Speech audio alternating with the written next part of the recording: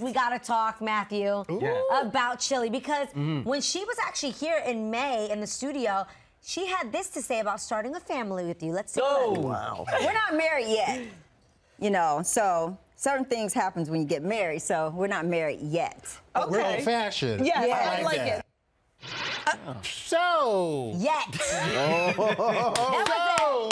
a- an emphatic yet. No. Well, you know, yes. Well, you know, well, that's with marriage comes kids, and that's you know kind of the order that I, we've discussed anything like that. So if that was the the future, you know, that's the future. That would be an amazing future if, if that was the case. So when does that ring come In okay, we need to know. You know what?